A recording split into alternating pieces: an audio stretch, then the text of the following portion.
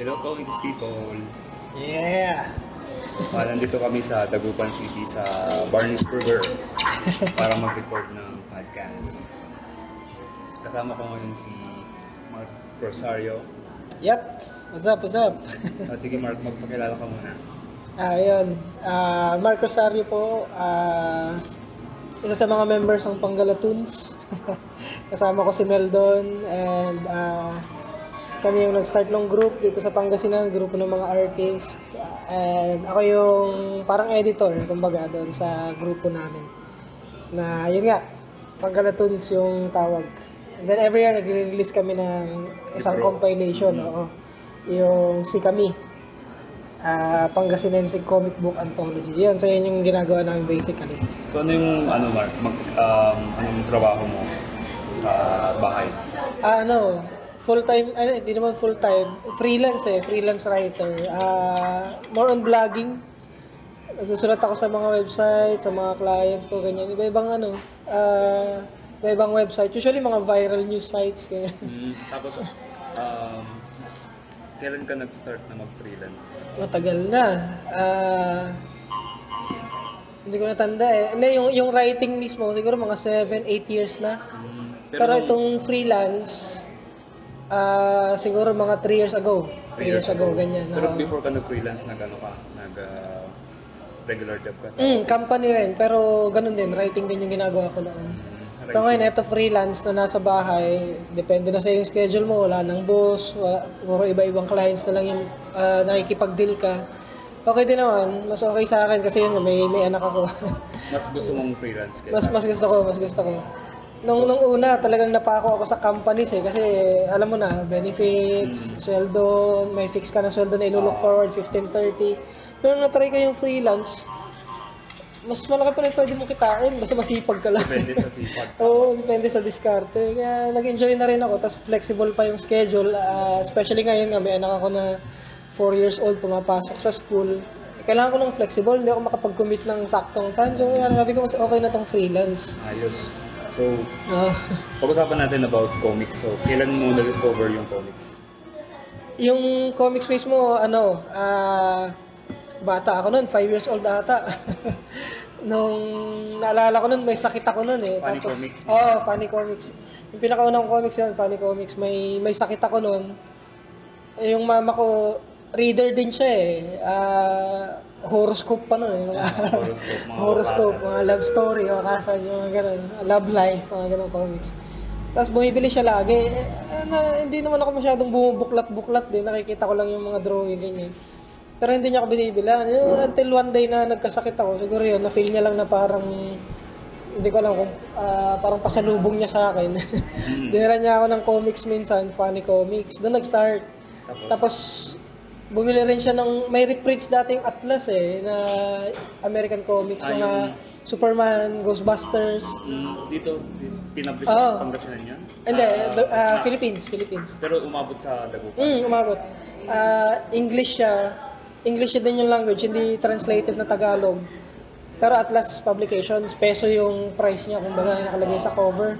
Tapos doon ako nagka-interest. Ah, Saan, saan mo nabili? Sa National Bookstore? hindi, sa bangketa lang. Sa mga bangker? Ah, may may newsstand kasi dati na ano eh, na talagang binibilan ni mama every Sunday dadaan kami doon. Tapos yun, pipili na, nung yun nga, nung nag-start na rin akong magbasa-basa, dadalhin niya ako ron, pipili na ako ng akin, Bata Batuta, Funny Comics, tapos yun, yung Superman, Man of Steel yun eh, alala ko. Yung Death of Superman. Okay. Hindi, yung Man of Steel, na Pagkatapos na series ni ano, ni John Bryan ba yun? Kalimutan ko na. Basta siya yung, oo, artist, parang writer. artist, ar, oh, writer, artist yata siya nun. eh. Ano, na, naalala ko lang yung cover. Yun yung una mong exposure sa Yun, Western. yun yung pinakauna. Oo. Ah, halos magkasunod lang talaga yung local comics tapos yung western. Ah, funny comics nag-start. Doon ko na discover si Starboy, si Superdog. Hindi ko na abutan si Supercat eh.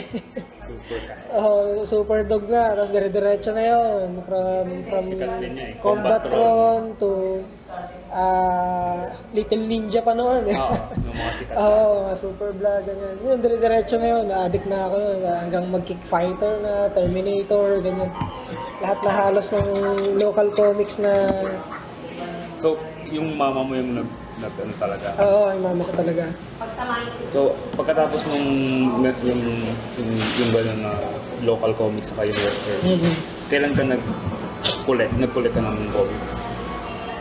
Siguro yung seryosong collect na lang talaga, ito na lang nung adult na ako eh. Siguro May starting na. ano, oo. nung bata, wala kung kailan ka lang bilhan ng parents mo eh, ganyan eh. Although tinatabi-tabi ko rin yun. Yun nga lang, binaha kasi yung collection ko nun. Isang kahon yun, tapos inabot kami ng baha, naabot din siya. So, wala na naiwan dun sa Wala, wala kahit isa. sayang. Lumubog sa baha lahat yun. Ta- Pero nung yun nga, nung I think 2008 yung una kong... I'm playing the su- summer is the first one. Opo. Okay lang. Pwede namang There i-edit is eh. some chili Ah, Opo, stars. opo. Ah, go ahead. So, Excuse me, excuse me. And Wow. Kain na tayo ng fries. Is this right? Yeah, fries. It's for you. Yan, fries. French fries. Nasaan tayo? Collection ano? Oh. Yan, yung pinakauna kong Comic Con, I think 2008 sa UP pa yon bahay ng alumni. So pumunta kami ron kasi... Pumunta ka mo. Ay, nandun yata ako. Oo. Hindi Hindi, ata tayo nagkita oo. eh. Alam ko yun yung year na nag-entry ka ng baboy eh. Baka hindi pa tayo magkakita. Oo. Pumunta ako ron kasi nilaunch yung Bayan Nights. Ah, Ayun ba yung launching mm, Bayan Yun din yung time na ano na nag-editor din ako sa grupo. Isa rin ako sa editor nila. Tapos may creation din ako doon. So, kayo yung parang founding members. Oo, ng parang Bayan ganun, Nights. parang ganun. Tapos, big, alam ko, big dumami yung members na eh. Dumami, inabot yata kami ng 50. So, 2008 to until what time hanggang medyo naglaylo na si Bayan Nights? oh, lately, nung ano nga, ah, kanya-kanyang projects na rin, kanya-kanyang kabisihan na rin, kanya-kanyang priorities na rin. So yun, eventually, na-streamline. Although, si Gilbert Monsanto naman, yung founder talaga noon, open siya sa lahat eh. Ah, kung ano yung project na makita niya na interested lahat at game lahat, sige, go lang siya. Ganun. Uh, Tapos, doon ko nakita kung paano nabubuo talaga yung comics. Kaya naging very educational experience sa akin yun. Kasi, So, yun yung first oo, yun talaga yung first involvement ko talaga sa sa project. Oo. From from reader to someone na tawagin natin parang insider, parang ganun. Tapos, Kasi na, kayo rin nag- nagbenta. Mm-mm, mm-mm. From from from the script to editing to nakita ko kung paano ginagawa yung penciling, inking, tapos yung pag-compile, tapos distribution, nakita ko yung kung paano mag-work, kumbaga yung isang team, paano mangyari yung isang comics na bubuo from concept to finished product. So naging interesting sa akin yung May- part na yun. Oh, may character ka doon, di ba? Sa Meron, meron. si... Overdrive yung pangalan niya. Pero wala pa siyang sariling title. Wala, wala. Hindi ko na nasikaso. Pero may planong ano. Sa, sa totoo lang, nahirapan ako eh. Kasi, although yung, yung talent ko is writing, yun talaga yung work ko ever since. Pero pag writing na ng fiction, doon ako medyo hirap. Pero pag yung nagkikwento lang ako ng kunyari life experiences ko, ganyan. O kaya nagdi-describe lang ako ng yung mga, yun nga, mga nangyayari, parang viral news, ganyan. Yun, madali sa akin yun. Kaya eventually, yung, yung naging first comics ko talaga na ako talaga yung gumawa, autobiographical yung kinalabasan. yung, yung ano, my wife is Oo. pregnant. My wife is pregnant kasi madali lang sa akin yun eh. Nagkikwento lang ako eh. Hindi ko alam mag-invento, ganyan eh. Eh Marami yung naging ano yun ah, followers, maraming naging fans, maraming nakarelate eh. nagulat ako, nagulat ako na, doon sa doon sa reception kasi unang-una hindi kagandahan yung art. ako yung unang magsasabi noon, hindi kagandahan yung art, very amateur kasi hindi naman ako talaga ganun kagaling mag-drawing. Yan nga lang nahihiya kasi ako maghanap ng artist na mag-drawing nung buhay ko kumbaga. Kaya, Kaya nung nakita ko yung comics, hindi naman siya magulong basahin. Yun ang importante naman, malinaw basahin. Oo, kaya na, pinagtulungan namin ng asawa ko yun eh. Ako yung nagpe-pencil, tapos minsan tutulungan niya ako mag-inks. Uh, Kaya naging collaborative ah, project yun. Nakakatuwa lang kasi, yun nga, parang nagkikwento lang ako talaga ron eh, nang, nang nangyari. Kaya madali, parang, So, as a writer tapos nag-shift ka to comics creator tas artist, ano yung na-discover mong mga parang mga bago hindi mo alam dati tapos ngayon alam mo sa paggawa ng oh, nung, nung time na yun kasi, nung involvement sa Bayan Nights, as in more on sidelines. At this time, ikaw na yung, kumbaga, haharap talaga. Ikaw yung magde-decide kung ano yung nasa bawat balloon, nasa bawat panel, paano didiskartehan kung ano yung magandang angle, ganyan. Hindi pala madali. Hindi may Hirap. no? Oo, kasi Pero parang madali kapag ikaw yung nagbabasa. Oo, oh, pag, pag tumitingin ka lang, kahit nung editor ako, nakikita ko lang si Gilbert. Araw-araw, ilang pages yung matatapos, iba. Parang ang bilis lang, no? Ganyan, ano? Pero pag ikaw na pala yung gagawa, especially humor, medyo hindi madaling magpatawa pag comics lang eh. Madali mag, magpatawa pag nagkikwentuhan lang kayo, ganyan, mga tropa mo, ganyan. Pero pag yung true, true art and word, hindi pala simple yun, hindi pala simple yun. Kaya parang ah, tumaas yung level ng respeto ko dun sa mga gumagawa ng comics, especially yung mga comic strip artist. Oo. Tatlong panel lang may humor na. Parang ah, ang hirap pala nun. mahirap talaga. hindi pala basta-basta yan. Pero kung titingnan mo, parang ang dali. Oo, kasi babasahin mo, segundo lang eh. Pero ang hirap palang gawin. Kaya, ayun, hats off talaga kay Manix Abrera, mga masters yung mga yan. Eh. Talagang matindi yung imahinasyon nila. Ano? Paul Medina, syempre, Mm. So, magagaling. Ah, Doc Carlos, San Jose, yun. Iba klase rin So, yung talent nun. pag-usapan naman natin yung si Kami. Mm-mm. So, nag-start yung si Kami noong 2000... 2013. 13 yung 13, pinakauna, yung first no? release. Okay. Tapos every year, one book. So, 2013, 14, 15. uh, yung, yung pang-apat, uh, hopefully itong November sa Comic Con. Shoutout kay Bong Redila. Uwi ka na sa, ano, Yeah! sa Dagupan. yung aming uh, publisher. At idol ng buong grupo. Marami nang gusto magpapirma ng kami sa'yo. Ano, Kaya nga eh. Ang daming humahanga dyan kay Bong. May mga sinulat kang ano dito, di ba? Stories. Mm-mm. Collaboration ni Patrick. Yung sa with Patrick, oo. Ah, yun yung first fiction na gawa ko talaga. Ah, ever since. Kasi talagang, yun nga, kagaya sabi ko kanina. So, kamusta, kamusta naman yung, di ba, nasubukan mo yung ikaw yung gumawa ng lahat, story sa art, tapos nasubukan mo rin maging parang editor, Ah. tapos ngayon nakipag-collaborate ka. ano naman yung experiences mo as a collaborator? Yung art, ikaw yung writer, tapos iba yung nag-draw. Yung yung nakakatawa dun sa part na yun, yung story kasi talagang hindi ko kayang i-drawing eh. talagang hindi ko ini-attempt na i-sketch man lang kasi na-imagine ko talagang mahirap to. May superhero, may may sasakyan, ano, sabi ko hindi ko kaya yun. kasi ngayon nga baguhan ako sa drawing. Ah, tapos naisip ko na maghanap ng someone na kumbaga unexpected na magiging makaka-collaborate ko. So, naisip ko si Patrick kasi ibang-iba yung ginagawa naming dalawa pareho eh. Siya medyo edgy yung kanya. Tapos sa akin medyo, paano ba i-describe yung akin? All ages, parang gano'n, or family friendly. Oh, medyo wholesome, parang gano'n. So, naisip ko si Patrick, sabi ko, para medyo unexpected, naman, medyo kakaiba naman. Tapos kung makita ko ano rin yung dadali niya dun sa story. Ano. So, yung story, superhero story siya. ah 10 pages lang. Pero somehow medyo related pa rin sa family eh. Husband and wife kasi yung kinalabasan na yun yung plot twist sa dulo, no? Pero, Pero yung kung ano yung naisip mo ba nung sinusulat mo yung yung story, tapos nung dinrawing na ni Patrick, nakuha ba naman niya yung... magkaiba. Ah, yung yung ini-imagine ko iba eh. Mm, Tapos syempre pag binigay mo na sa artist, own interpretation naman. own ng interpretation niya. Oo. Ah, hindi ko na dinetalye doon isa-isa kung ano yung iniisip kong eksena. Ano. Although, although silent comic siya, so medyo may detail talaga. Although hindi ko na masyadong in-specify lahat ng naisip ko that time. Hinayaan ko si, si, si ah, Patrick. Tapos kung magtatanong siya, yun, sabi na lang ako. At alam naman natin si, art, si Patrick, versatile na artist Oo. yun. Marami siyang alam na style ano, na gawin. Kaya Oo. shout out kay Patrick. Mag-guest ka rin sa podcast minsan. so ayun. So lalabas yung si kami 4 na no. Oo. Pangapat ang gagawa ng cover si Si Ed. si Ed, Ed Quiroz. Quiroz, oo, Ed Quiroz Jr. Yung aming Mecha Master. So shout out sa mga members ng Panggalaton sa puso na yung comics nyo Oo. para may layout na Nakalimutan ko, magpa-follow up tayo sa Facebook. Ano? o kasi sa, para sa kaalaman ng listeners, ano, yung, yung grupo kasi is nabuo siya, ano, nag-start sa, I think, DeviantArt eh. Hmm. Diba, may Pangasinan sketchbook tayo dati, DeviantArt. Pero hindi masyadong naging active. Oo, hindi pa masyadong active that time. Ah, nung nung time na yun nga nag nag-start ako mag-explore sa Bayan Nights tapos na-expose ako sa DeviantArt. Eventually nahanap ko si Mel doon eh. Hmm. Kasi kasi ano, si Dexoy. Oo, kayong dalawa ni Dex. Ah, Pinafollow ko dati si Dexoy. Akala ko, ano, kung Brazilian o kaya Spanish, ganun. Oo.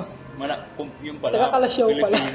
Tapos malapit lang pala yung bahay Isang sa jeep amin. lang pala yung pagitan sa amin. Hindi mo kasi mahulaan doon sa profile niyo sa uh, Akala mo talaga foreigner eh. Mm. Pati yung art style, ibang iba eh.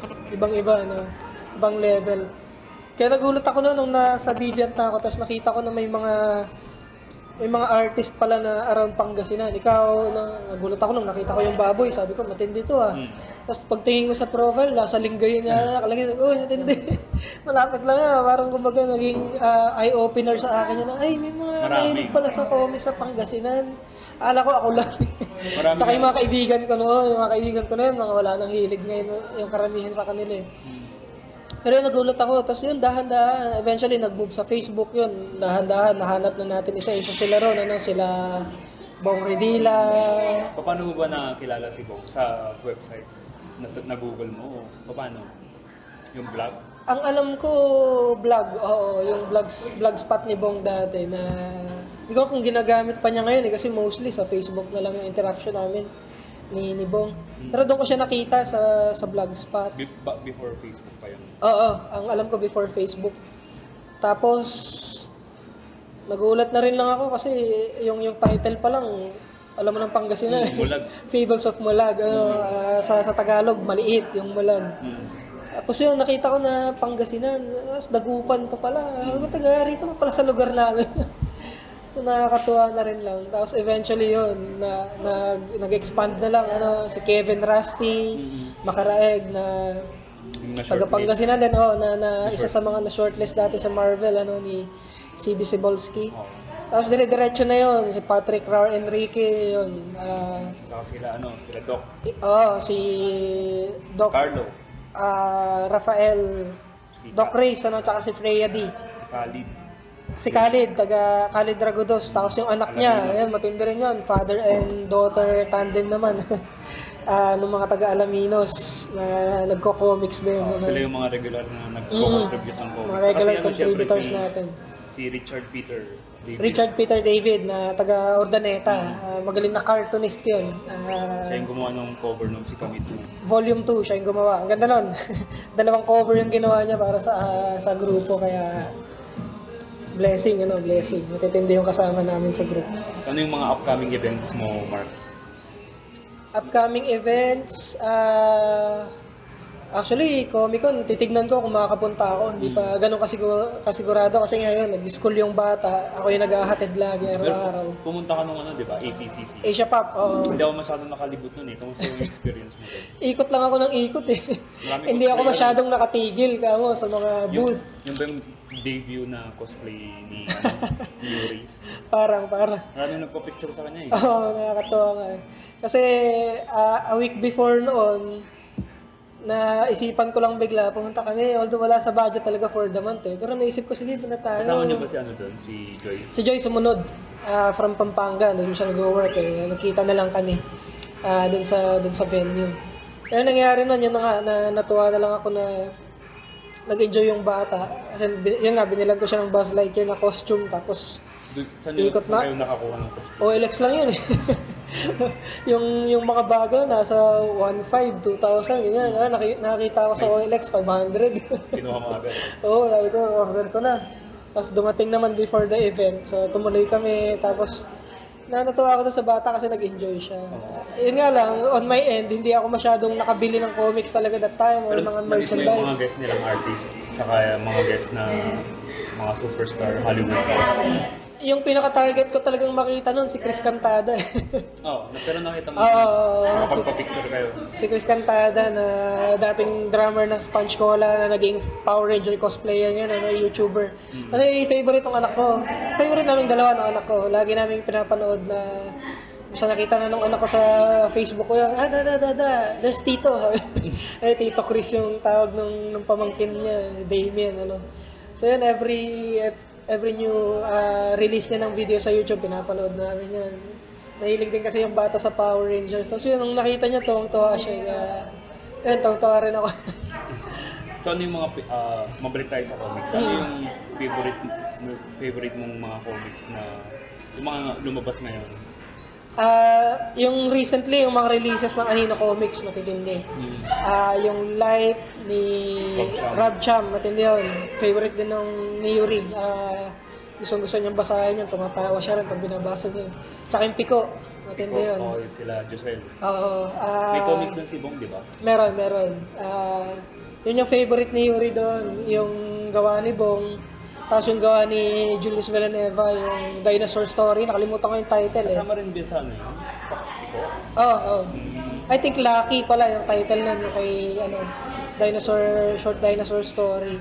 Tapos eventually, nakakatuwa itong anak ko. Siguro na-inspire dun sa story ni, ano, story ni Julius. Eventually, nakagawa siya ng sarili niyang story. eh. Dahil dun, Oo, uh, about, about sa dinosaurs. Mahilig siya sa dinosaurs. Tapos, before kasi kami matulog, ah, nag-storytelling kami minsan. mm, Minsan ako, gagawa-gawa lang ako ng story o kaya mga story na nabasa ko sa comics o napanood ko, ganyan. Susummarize ko na lang, tapos ikikwento ko sa kanya. Tapos minsan, sabihan ko siya na, oh, how about you, you tell a story. Tapos gagawa-gawa lang siya ng kung ano lang, na, na story. Tapos minsan meron siyang nagawang story na natawa talaga ako eh. tungkol saan yung story sa dinosaurs. Dalawang dinosaurs, o kaya yung title, The Two Dinosaurs, literal. Ano? pero natawa ako dun sa story niya. Very short lang, pero nakakatawa kasi yung delivery niya. Gawin mong comics. Yun yung balak. Ah, pero actually hindi comics, ah Storybook. children's storybook yung dating. Kasi sobrang maikli lang talaga. Ang gagawin ko lang one one artwork per page, Per page. one sentence per page para ma-stretch lang siya no. Kasi pag comics baka maging two pages lang. Oo, mabilis. Oo. Pero yung yung dream ko dun sa Two Dinosaurs, bali collaboration namin dalawa naman ang anak ko, yung sa asawa, asawa ko, ano. Ito kaming dalawa naman ang anak ko kung sakali. Yung dream ko sa kanya, maging ano siya, ah, colored. Gusto ko siyang maging colored para maikling-maikli lang. Hindi ko alam kung i-release ko sa con eh. Pero ang bala ko sa kanya, ipiprint ko lang, tapos bigyan ko lang mga friends namin. Pwede naman. Yun lang yung bala ko. Eh, medyo magastos din kasi yung printing, eh. No? Ang mahal ng printing, especially pag itong ganitong colored, malamang maging mas mahal pa siya. Pwede mag-print on demand, yung ginagawa ng iba. Hindi ko pa na-try yun. Hindi ko pa na-try. Mag-print ka lang nung kung sino mga nag-pre-order. Oo. meron yata si ano no, si Reno Manikis, nakita ko sa ah, Facebook, eh, yung The Print Block. Mm. Parang gusto Oo, kong pwede mag-inquire mo- oo, doon. pwede eh. mo Gusto kong mag-inquire. mag-inquire kung magkano yung colored. Kasi parang gusto ko lang ma-capture din yung imagination ng bata. Paglaki niya, makita niya na, Oo. ay, Ay, may ginawa ko nagawa to." pala akong story. Parang gano'n. Three years old ako na, nakagawa ko ng story. Parang gano'n. Parang gusto ko rin lang matuwa siya. Tapos pamigay ko rin lang sa mga kaklase niya. Oo nga. sa teacher niya, sa mga kaibigan namin. Mm.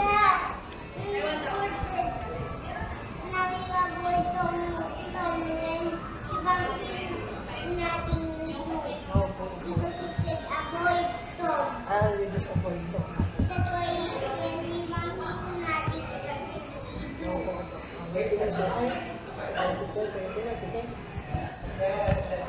Ayan.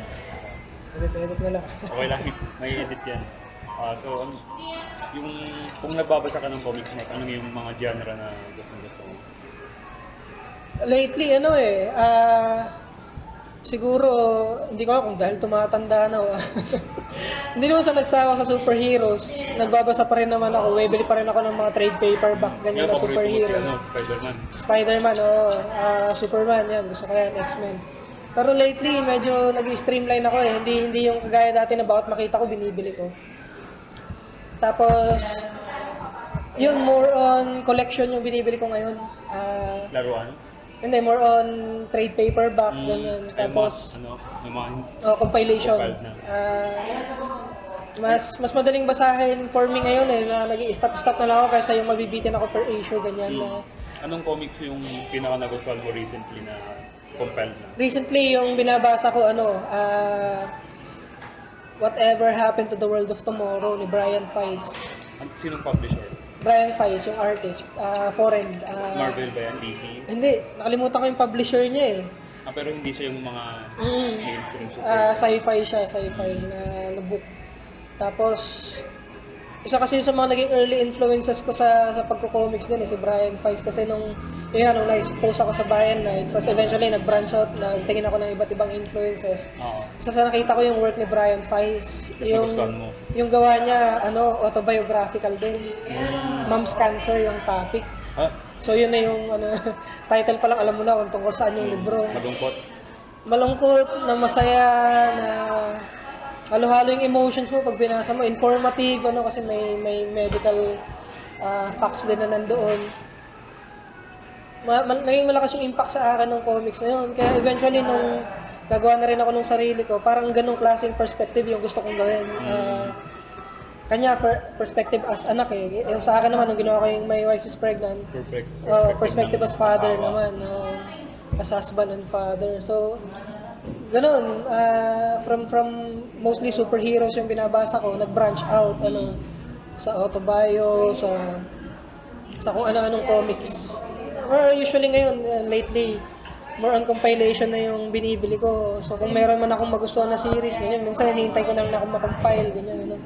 Kaya kung series man siya, hintayin kong marami na yung labas bago ako mag-order, ganyan, or bago ako bumili, para medyo hindi na ako mabibitin. Kasi, yun nga, from, since from Dagupan ako at hindi naman ako ganun kadalas maka-attend ng mga convention, usually nag-order ako through shipping. Eh, medyo mahal din ang shipping, oo. magastos. So, lalo pag kakaibang artist yung kursonada mong bilhan.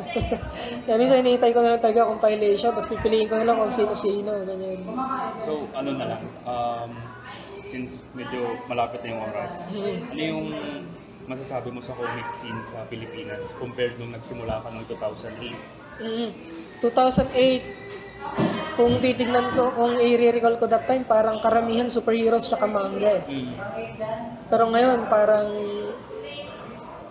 parang hindi na ganun eh. Hindi na ganun yung, hindi mo na ma-define na dalawa lang, ano. Ngayon, madaming madami na. Ah, kaya very exciting na time.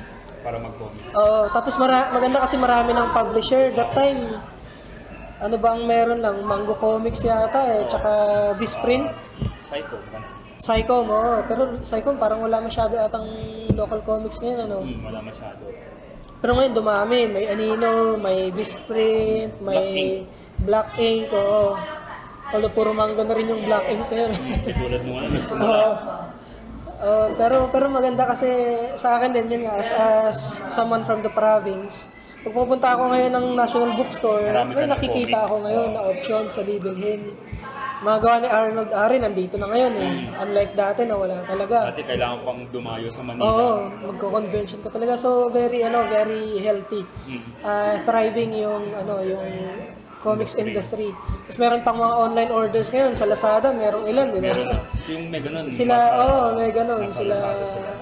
sila ah, Aaron Felizmeño, nandoon sila. Sila Tepay, ganyan. Kaya maraming options, maraming options, nakakatuwa.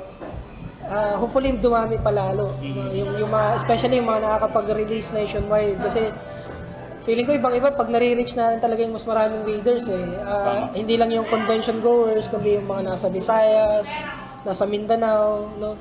Para ma... Yun nga kasi yung hirap sa Pilipinas kasi hiwa-hiwalay yung islands natin eh. Kaya challenging talaga yung distribution. Pero yun yung isa sa mga ways talaga, yung bookstores. Oo. Kasi sila yung mas kalat. Ano, wala na talaga yung bangketa days eh. Talagang mahirap nang ibalik yun. Tama. Ah, Ngayon may online naman na kaya mas madali. Online, oo, online. Hopefully yung mga readers din, kapag may gusto talaga silang comics, don't hesitate din na kontakin yung mga creators. Ano?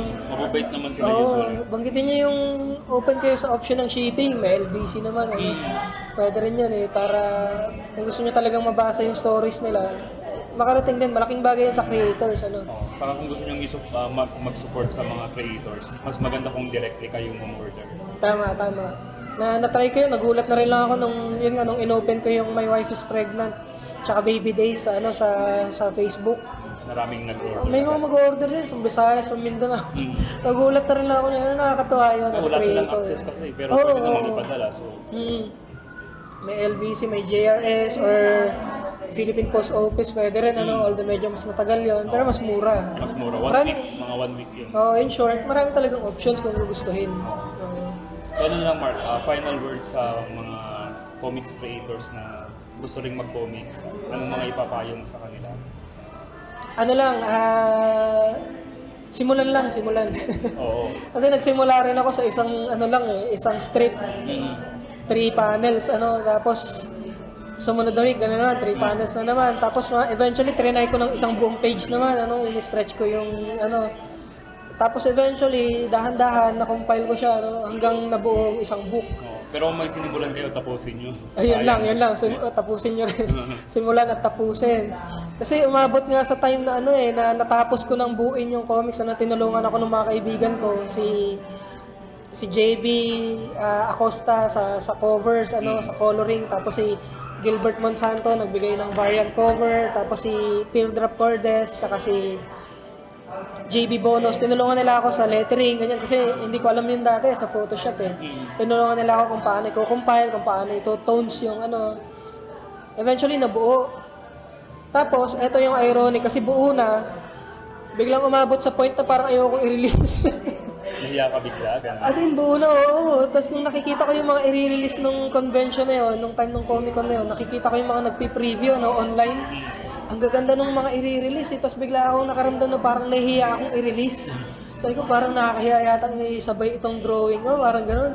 Yun nga lang, nahihiya na rin ako dun sa mga Tumulong tumulong sa akin. Yung asawa ko rin na nagpupush sa akin, ano, siya pa yung umikot ng dagupan, naghanap ng printer eh, na, na madadala yung comics na yun.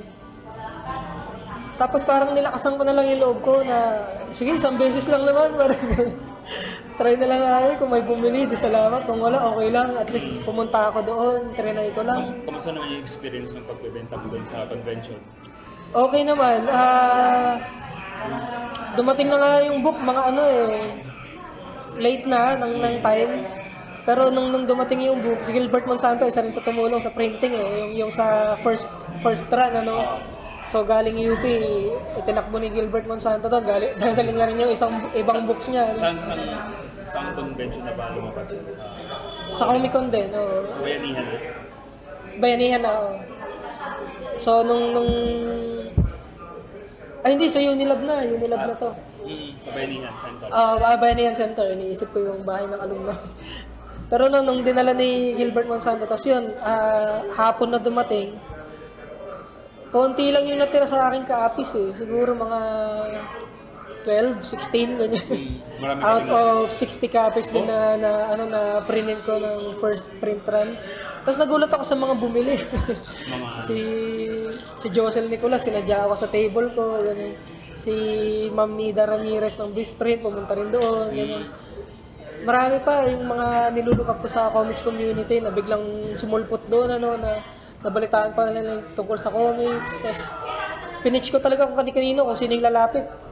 Nakikipagkilala ako talaga, nag- nag-sales talk ako talaga, ano. Ah, hindi ko sila hinayaan na tinignan lang na gano'n, ano, kundi nakipag-usap ako, nakipagkilala ako sa kanila. Then out of that ah, Comic Con experience, nagkaroon ako ng maraming kaibigan. Hanggang ngayon, mga contacts ko pa rin sa Facebook na nakaka-chat ko pa rin from time to time. Ano. May, may mga nag-PPM sa akin, nagkikwento ng pregnancy stories nila. Tapos ngayon, may, may, may mga magkikwento rin na, oh, buntis ako ngayon, pinapabasa ko na nun sa husband ko yung comics, para ma-review niya, ma-review niya yung eh, nakakatuwa lang kumbaga sa sa atin. Oo, yung mga ganong feedbacks. So nakakatuwa yung mga ganong stories. Meron din yung time na isang so, sa mga kaibigan ko naman, sinabihan niya ako na pinasa niya yung comics sa nanay niya. mm, Binasa, umiyak daw, mga ganun ba? Nagulat na lang. yung pagkakabuntis mo. Oo, parang yun. Na- Nagulat ako dun sa impact ng, ng, ng simple story na yun na, yun nga, Doon mo malalaman na maganda talaga yung comics. Sa feedback mo marireceive mo. Okay, na-overwhelm ako doon.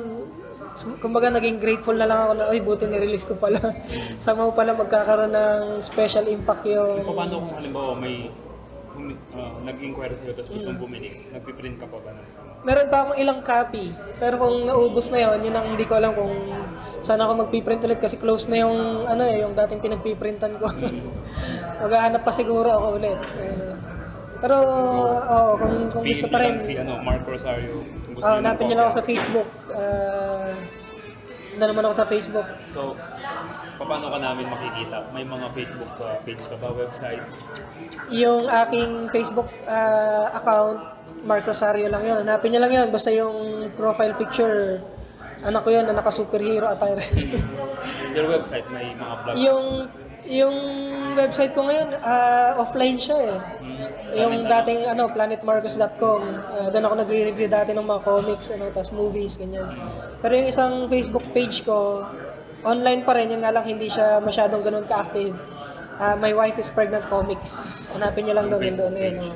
PM niyo lang, matatanggap ko pa rin naman. Mapapasa mo pa rin yun. Oo, oo. Tapos kung merong gustong mag-order, just in case, may mga available copies ako, pwede ko pa rin isend. Ayos. So, yun. Salamat Mark sa pag-guest sa Thank you rin, sa first time, first time.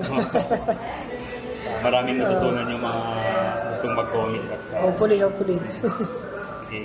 Bye-bye comics people. Hanggang sa susunod na episode. Buyers!